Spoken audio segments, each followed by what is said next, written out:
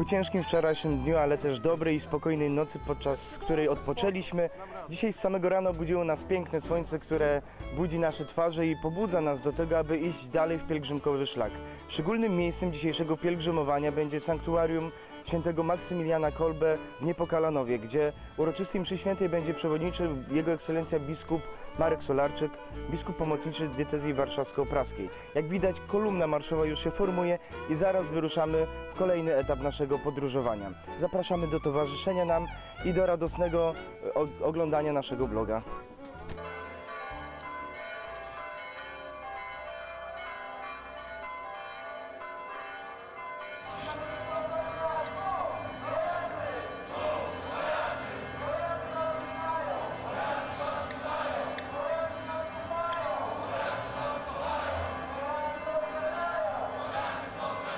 Daj świadków. Hasło tegorocznej pielgrzymki w tym miejscu, w Niepokalanowie, zyskuje szczególnego wymiaru. A to za przyczyną patrona tego miejsca, świętego Maksymiliana Kolbego, który dawał świadectwo o swojej wierze aż do męczeństwa, aż do oddania swojego życia za drugiego człowieka w Auschwitz. Już za chwilę rozpocznie się tutaj msza święta, po której wyruszymy w kolejny odcinek naszej trasy. Jak widzimy, pogoda nam sprzyja, więc to będzie piękny czas naszego pielgrzymowania.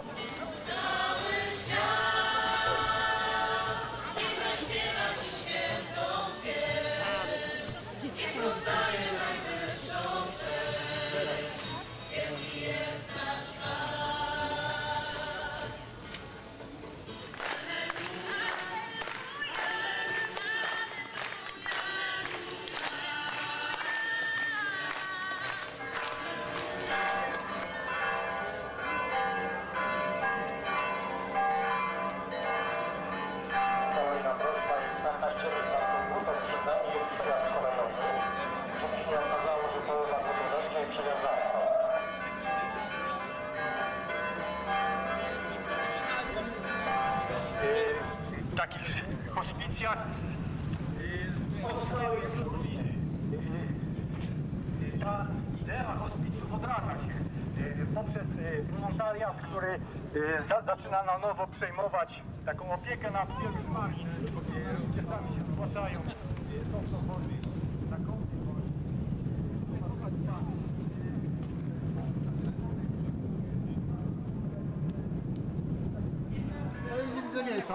A mięcha nie ma.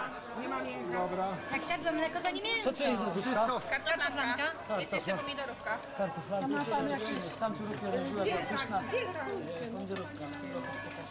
Dobra, tak.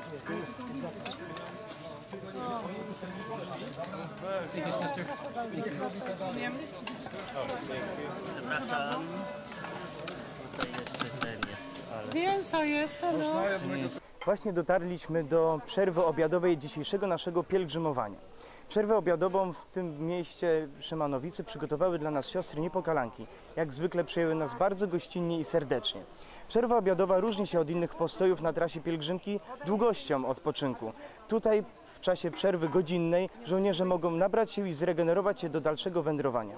Podczas ostatniego odcinka usłyszeliśmy historię trzech żołnierzy, którzy pielgrzymowali do Santiago de Compostela w Hiszpanii. Powiedzieli o różnicach, które są e, w porównaniu do pielgrzymki polskiej i opowiedzieli nam, że jako nagroda za dotarcie do Santiago de Compostela jest dyplom ukończenia tego pielgrzymowania. Jak na razie zmagamy się z wysoką temperaturą, która towarzyszy nam od samego rana i z gorącym słońcem. Zapraszamy do śledzenia naszego pielgrzymowania. Pozdrawiam.